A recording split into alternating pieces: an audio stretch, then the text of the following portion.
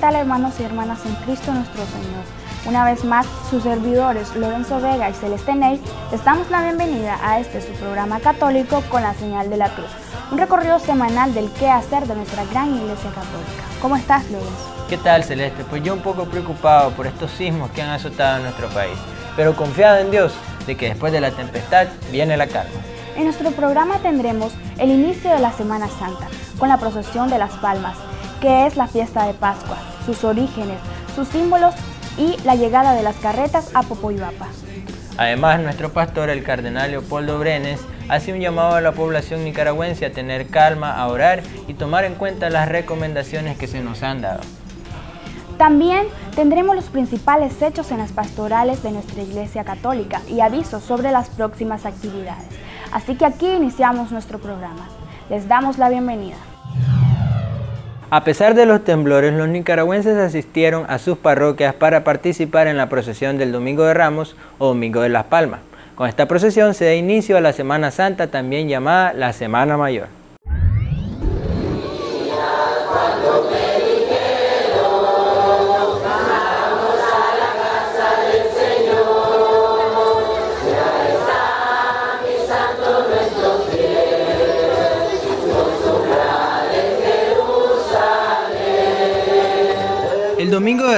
Marca el inicio de las festividades de la Semana Santa y en él se recuerda la entrada triunfal de Jesús en Jerusalén, según los hechos narrados en los Evangelios, que culminan con la muerte y resurrección de Cristo.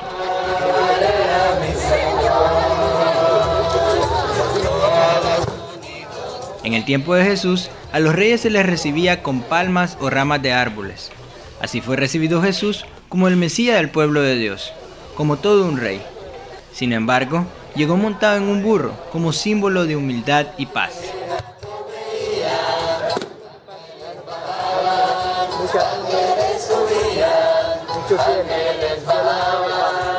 Siempre asistiendo a, la, a, las procesiones y todo, porque no soy amante de andar en la playa. Todos lo pasamos en familia, en la casa.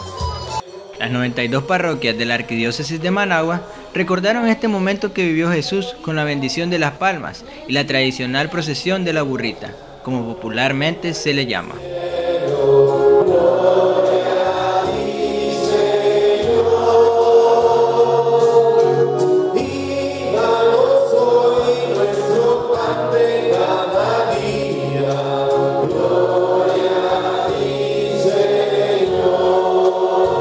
El Evangelio del Domingo de Ramos es uno de los más largos de la Semana Santa, que junto con los Evangelios del Jueves Santo, Viernes Santo y Domingo de Resurrección forman parte de las celebraciones principales del año litúrgico.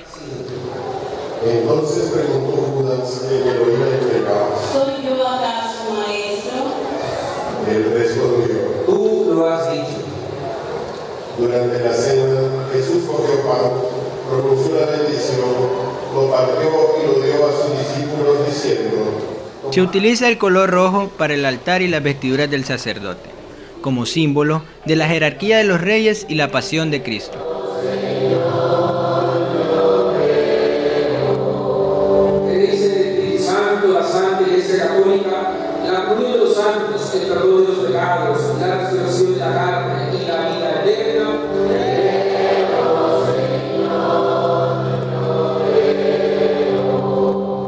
Costumbre actual consiste en que después de las misas se hacen cruces con las palmas benditas, que se colocan detrás de las puertas de las casas para recordar que Jesús es el Rey y que Él es el centro de nuestros hogares.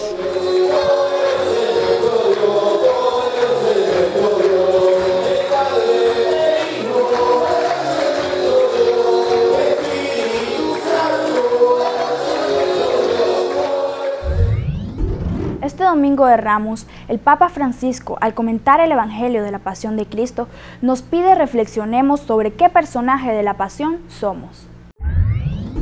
¿Quién soy yo ante Jesús que entra en Jerusalén? ¿Soy capaz de expresar mi alegría y alabarlo o tomo las distancias ante el sufrimiento de Cristo? Jesús entra en Jerusalén para dar cumplimiento al misterio de la pasión. Jesús es diverso de los escribas y de los doctores de la ley, diverso de los importantes de aquel tiempo. Lo dijo el Papa en su homilía del Domingo de Ramos tras haber bendecido los ramos de olivo en la plaza de San Pedro, donde se dieron cita decenas de miles de fieles. Jesús está rodeado de personas que querían matar ¿Soy también uno de ellos? se preguntó Francisco. Como Judas que finge amar y traiciona, tampoco los discípulos entendían y se adormecían. ¿Mi vida es la de un adormecido? preguntó el Papa. ¿O soy como aquel discípulo que quería resolver todo con la espada? ¿O como aquellos jueces que buscaban falsos testigos? ¿O como Pilato que no sabe asumirse su responsabilidad? Como la muchedumbre o los soldados que se burlan de él? ¿A quién de estos me parezco? Que esta pregunta nos acompañe durante toda la semana, concluyó el Papa su homilía pronunciada sin leer.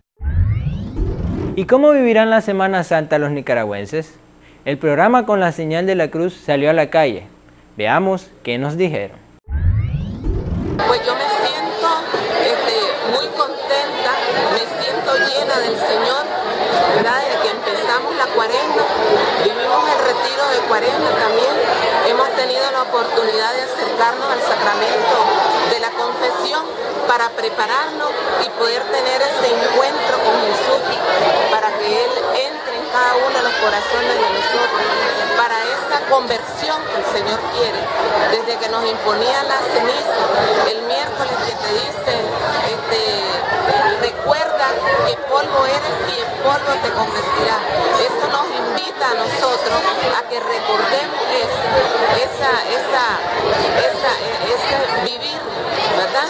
En cuaresma, para que podamos este, llegar a la paz, a la resurrección de Jesucristo. Este tiempo de cuaresma que el iglesia nos ha regalado es un tiempo para estar en, estar en preparación, a estar a la espera del Señor. Por eso cuando venimos en la Eucaristía decimos, Señor Jesús, ese Maranatá que significa que el Señor va a reinar en nuestra vida, que va a reinar con fuerza y con poder. ¿Existe algún modo de preparación antes de la Claro, lo que, lo que siempre el cliente nos manda, estar en ayuno, obediencia, abstinencia y la limosna. Estar en, en ayuno no significa solo comer, como decía, creo que él en el mismo programa decía que comer al hermano también, o sea, cultivarte de, abstenerte de no comer al hermano y estar preparado siempre en la palabra, porque la Sagrada Escritura está toda nuestra vida, está resumida ahí. Desde que inició la cuaresma estoy preparándome, porque todo buen cristiano eso debe hacer, prepararse no solo en la vestimenta, que algunas veces nos preocupamos por vestirnos, sino que preocuparnos por la parte interior, que es lo que más le interesa al Señor.